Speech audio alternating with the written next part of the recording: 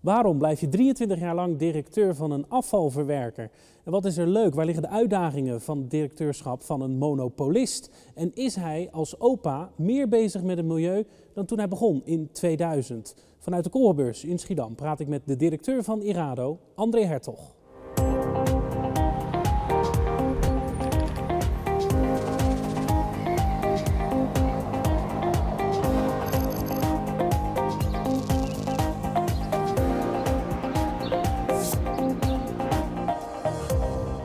Ja, André, welkom. Ja. Eerste commentaar wat ik krijg, we zijn geen monopolist. Nee, nee, nee, nee, nee, nee, nee. Ne- Monopolist wil zeggen dat je, dat je het allemaal kan doen eh, zonder concurrentie. Eh, in die zin hebben we wel eh, contracten met de gemeente. We zijn een overheidsgedomineerd bedrijf. Dat wil zeggen dat de aandelen van ons bedrijf bij drie gemeentes liggen. Dat is Capelle aan de IJssel, Schiedam en Vlaardingen. Maar verder moeten we ons werk gewoon goed doen. En als we ons werk niet goed doen, dan zou een gemeente als opdrachtgever gewoon van ons af kunnen. Maar jullie zijn de enige. Nou, nee, Wij wel zijn... wat krediet opge, Wij, hebben, nee, maar, maar dat is inderdaad, wij hebben behoorlijk wat krediet opgebouwd eh, de, de afgelopen jaren, zeg maar. Eh, en dat werkt wel in ons voordeel. Maar daar hebben we ook met z'n allen, en met name de medewerkers, eh, hard aan, aan gewerkt. En ik denk ook wel dat wij de afgelopen jaren hebben ingespeeld op, op, op veranderingen. Wat gebeurt er in de maatschappij en hoe ga je als bedrijf die beweging aan? En wat kan je meer, eh, welke meerwaarde kan je, kan je betekenen voor, voor je opdrachtgevers? En we zijn van huis uit een afvalbedrijf, maar eigenlijk zijn we nu veel meer de beheerder van de openbare ruimte. Eh, om Dat is echt veranderd. ja, ja, we zijn ontstaan in 2000 en dat was een fusie tussen de stadsreiniging in Vlaardingen en ONS Milieu. ONS Milieu bestond toen uit, uit zeg maar de inzameling en, en de reiniging van de gemeente Schiedam. Daar zijn wij uit ontstaan. Dat traject eh, heeft eh, twee, drie jaar geduurd, hè, want eh, twee gemeentes, en met name Schiedam en Vlaardingen, Spanningen. naar elkaar groeien. Dat, dat gaf spanningen, ook bij de medewerkers toen die tijd, maar ook bij de politiek. Ehm, Maar gingen jullie toen al meer doen dan alleen de vuilniszakken ophalen? nou, nee, we zijn successievelijk zijn we meer gaan doen. En dat had ook te maken met de gemeente Schiedam. De gemeente Schiedam had had de afdeling gemeentewerken. En successievelijk is de afdeling gemeentewerken is, is naar Irade gekomen. En dan moet u denken aan civiel werkzaamheden, bestrating, maar ook de havendienst, bruggen en gemalen. Dus we zijn eigenlijk nu veel meer de open, de, de, de, de, zeg, we, we doen veel meer het dagelijks onderhoud in het openbaar gebied. Daarmee ook groter geworden En als veel bedrijf. groter geworden. Ehm, en, en, en, en daarnaast eh, kijken we van, joh, wat kunnen we bijvoorbeeld doen met, met arbeidsparticipatie? Ja. Ehm, de reden dat je hier zit is omdat je afscheid neemt. Ja, Eh, in november is het klaar, ja. Ehm, maar nog niet helemaal. Want je bent ook nog een soort klankbord voor de nieuwe directeur, begrijp ik. ja, ik blijf nog op de achtergrond aanwezig eh, tot eh, volgend jaar, eh, zeg maar begin februari. Dus zijn er vragen en dan, dan weten ze mij te vinden. En misschien zijn er nog wat projectjes die, die nog van de grond moeten komen. Dus heel formeel is het volgend jaar 1 februari dat ik echt het bedrijf verlaat. Maar mijn afscheid is zeg maar de medio november. En dan, dan trek ik me behoorlijk terug en dan ben ik alleen op de achtergrond aanwezig. Maar goed, dan is het bijna 24 jaar directeurschap eh, bij Rado. Ja, Ja, dat, het is wel een afvalverwerker, dus is dat dan leuk om 24 jaar lang Ja. dat werk te doen? ja.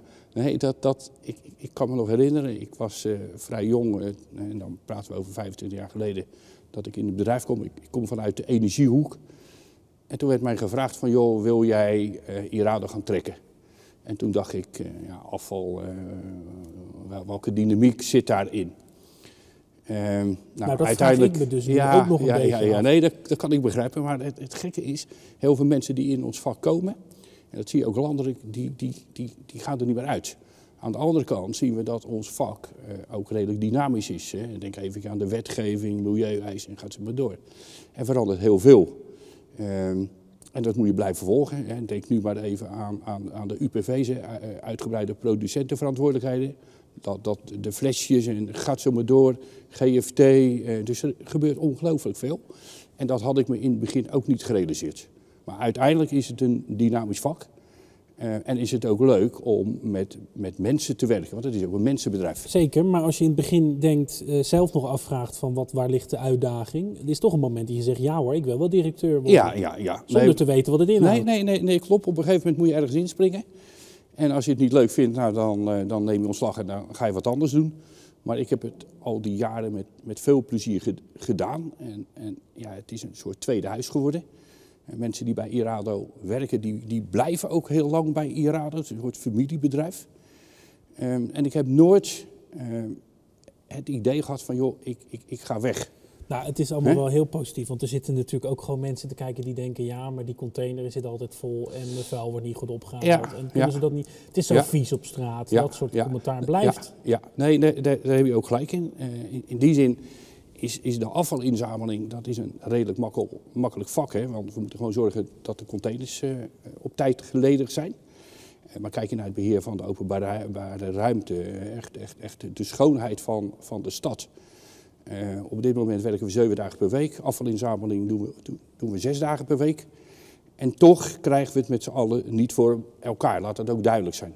Als, als Irado zeggen we ook, die buitenruimte, dat, dat is eigenlijk onze gezamenlijke huiskamer. Als je nu kijkt, uh, zeker met die ondergrondse inzamelingen, hoeveel afval er steeds naast gezet wordt. Mensen vinden het redelijk eenvoudig om, om het gewoon bij, bij de container te zetten. Uh, ze kunnen bellen, komen we het ophalen. Ze kunnen het naar onze milieustraat brengen. Maar je ziet, in deze regio ontstaat toch een stukje gemakzucht. En leggen we het bij de container. En dan zijn wij in die zin het, het afvoerputje en moeten het opruimen. En dat doen we ook. En, en onze mensen doen het met veel enthousiasme. Maar die zijn ook wel eens moedeloos. We horen ook veel bestuurders, wethouders die zeggen inderdaad... van het ligt ook aan het gedrag van mensen. Hè? de laagdrempeligheid ja. om dan maar gewoon dat uh, neer te gooien. Klopt. Maar er zit natuurlijk ook een grijs gebied tussen van de systemen die af en toe niet altijd even lekker werken. Uh, ik wilde nog wel eens wat aangeven dat een container vast zat en toen liep de app of ja. de, de, site vast dat ik dacht van nou laat maar ja, dan. Nee, maar wat je wel ziet, uh, en dan, dan als je kijkt voorheen hadden we, hadden we die, die grijze zak. Die werd op de stoep gezet en, en, en, en die werd opgehaald. Maar wat we toen hadden, is heel veel overlast van meeuwen. Die, die, die zakken werden opengegeten of opengetrokken. Heel veel straatvervuiling, dat hebben we nu niet. We zitten nu veel meer in de techniek.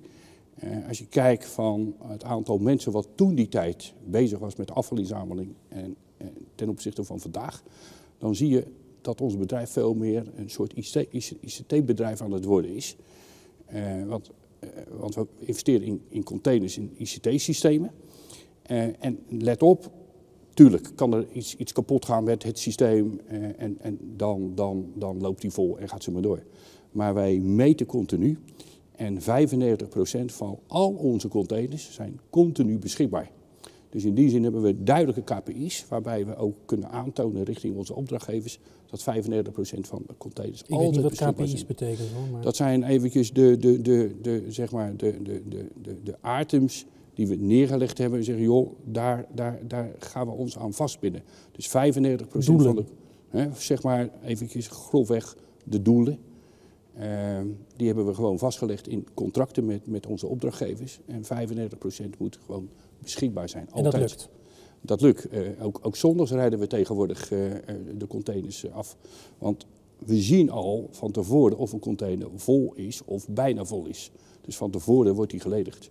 Maar toch uh, is er af en toe zo'n zo'n trend dat, dat het gevoel is dat het ja. minder wordt.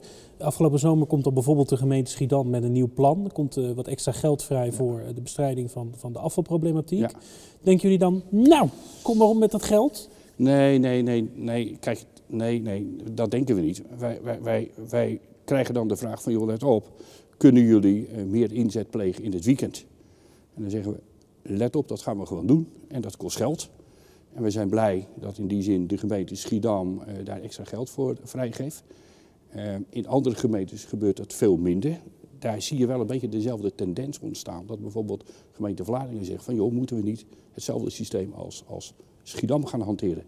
Dus ook veel meer inzet in, in het weekenden. Uh, uiteraard betekent dat natuurlijk wel wat voor de organisatie. Want medewerkers die voorheen dachten van nou we werken van maandag tot vrijdag ja, die moeten nu ook in het weekend uh, werken. Dus dat betekent nog wel wat, wat voor het commitment uh, richting, richting onze medewerkers. En nogmaals, ze zijn heel enthousiast. maar je moet ze wel activeren, motiveren, omdat de klant dat vraagt. En, en daar, sta, daar staan we voor. Ja, ik heb wat stellingen. Daar gaan we even snel doorheen en daarna kunnen we wat langer erover doorpraten. Mm -hmm. Ik heb regelmatig werknemers bij het grof vuil moeten zetten.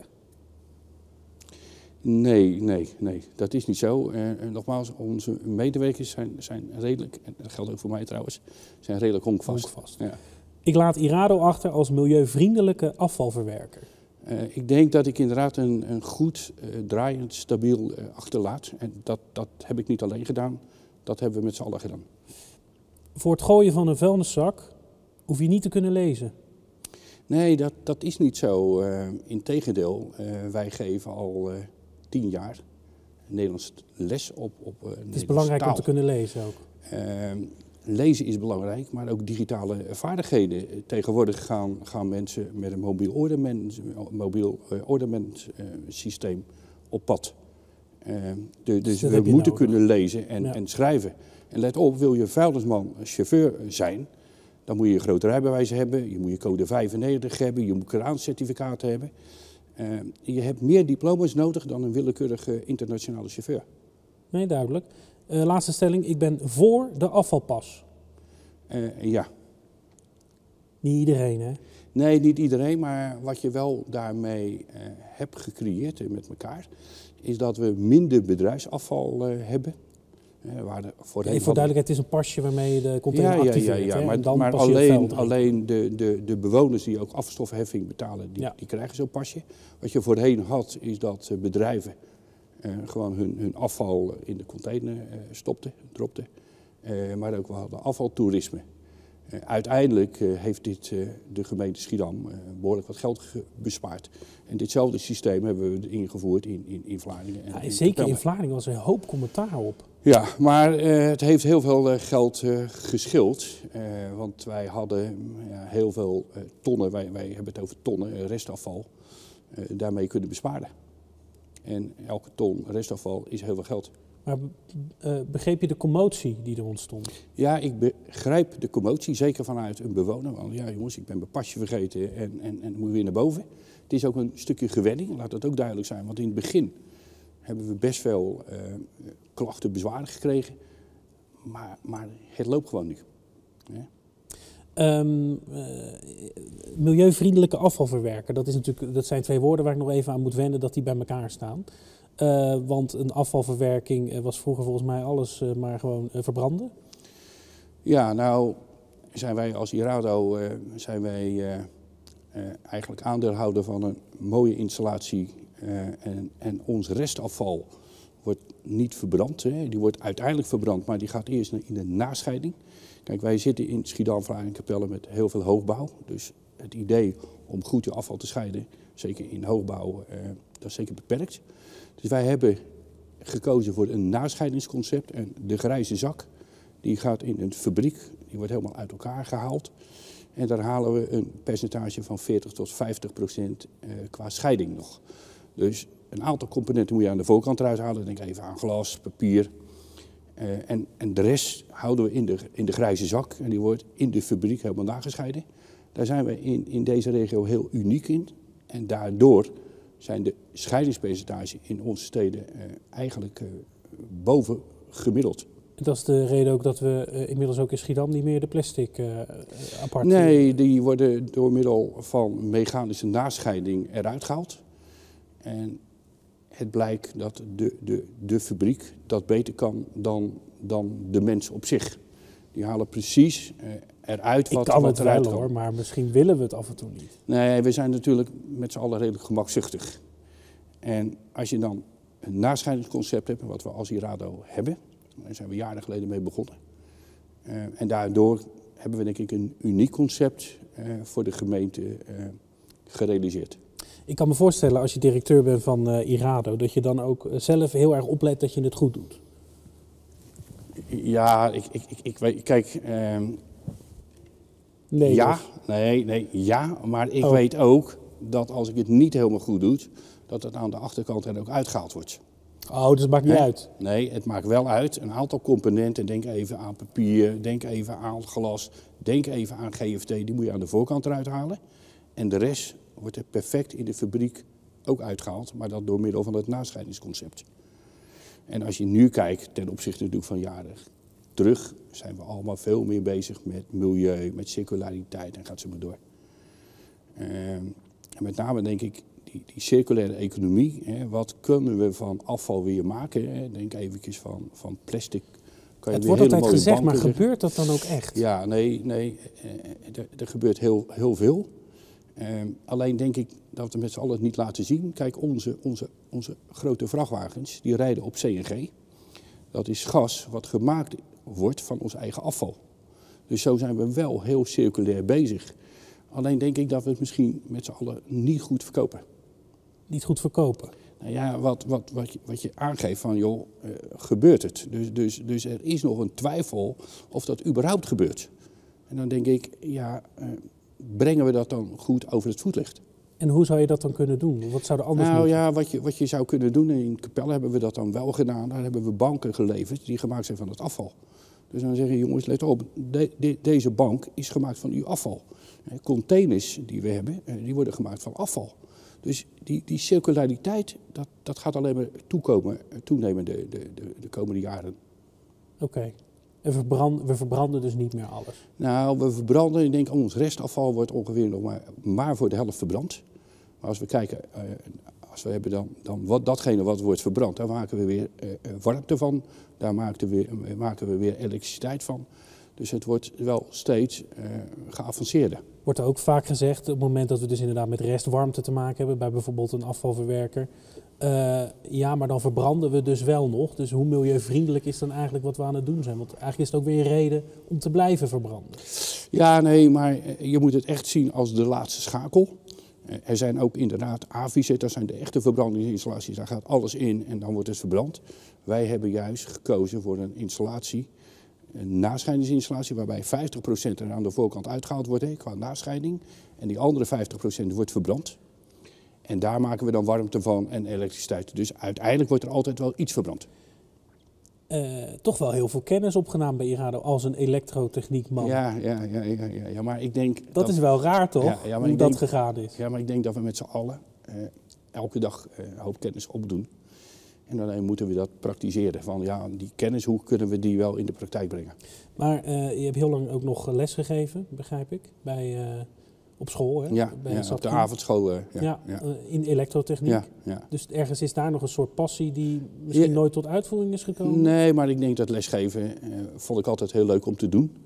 Ehm, mensen iets bijbrengen, eh, maar dat doe je in je dagelijkse werk ook. Eh, en dan het oude vak elektrotechniek. Dus dat heb ik altijd met veel plezier gedaan. Maar is er nog iets van die elektrotechniek teruggekomen binnen het directeurschap bij Irado? Eh, bij Irado eh, eh, niet. Ja, misschien dat ik wel eens wat commentaar kan leveren aan onze facilitaire manager. en hem daarmee helpen, maar, maar, maar daar blijft het ook bij. Is dat dan ook weer iets om nu dan toch nog even ergens op te pakken of Ja, hobbyistisch nee. iets mee te doen? Ja, misschien. ik, ik ben dadelijk 66 en dan moet ik eens allemaal kijken van, van joh, wat, gaan we nog verder doen? Ja, ik begrijp dat je vooral opa gaat zijn. Eh, ik heb, eh, ik heb één, één klein dochter en daar, daar zijn wij natuurlijk hartstikke trots op. Ja. Die leer je goed af, Ja, afscheiden. ja, ja. Hè? Ja. Ja, nou, die is nog wel heel klein, maar dat gaat wel lukken in de toekomst. Maar goed, eh, heeft dat iets veranderd? Want dat is natuurlijk de vraag waarmee ik eindigde bij de intro. Dat is de vraag waar ik ook dit gesprek mee wil eindigen. Duurzame manier van denken, wat er nu inkomt in de samenleving. Het moment dat er dan een kleinkind bij komt, eh, denk je er dan toch extra over na? Nee, ik denk niet. eh, als, kijk, dat, dat geldt ook voor mijn, eigen kinderen en mijn kleinkind. Maar ik denk, die, die duurzame maatschappij, ja, daar moeten we met z'n allen meer aan doen. En dat zien we ook dagelijks. Eh, en het is fijn als je als bedrijf, als Irado daar een steentje aan kan bijdragen. Aan de andere kant zit ik ook in, in de Green Business Club. En, en, en, en, en daar moeten we eens kijken van, joh, wat kunnen we qua circulariteit met, met bedrijven nog doen. Maar dacht je in 2000 daar ook al zo over? Nee, nee, nee, nee, nee. Ik denk dat we daar met z'n allen nooit zo bij stil hebben gestaan. Ehm, en, Moet je en- niet tegen El Gore zeggen bijvoorbeeld, die toen al documentaire maakte? Nee, nee, goed. maar, maar laat, laat ik zo zeggen, de gemiddelde, en daar Mhm. ben ik er één van. En we vinden het gelukkig eh, steeds belangrijker worden. Dus dat, hoe ga je daar nu dan nog mee verder? Want dat moet je nu gaan loslaten. Nee, nee, nee. Kijk, in mijn vrije tijd eh, kan ik zeker nog een steentje bijdragen in bepaalde businessclubs en gaat zo maar door. Eh, en dat is dan, eh, dus, dus er is nog genoeg vrijwillige werken op, op, op dat gebied de komende jaren. Dus Irado, je gaat Irado niet missen per se. Ehm, ik ga Irado denk ik wel missen, zeker in het begin. Want ik heb er altijd met veel plezier gewerkt. Dus in het begin, ik ga, nee, het, het, is een soort tweede huis. Dus dat, dat ga je missen. Ehm, maar er komt wel weer wat anders voor in de plaats. Goed, heel erg bedankt voor dit gesprek en veel succes. Dankjewel.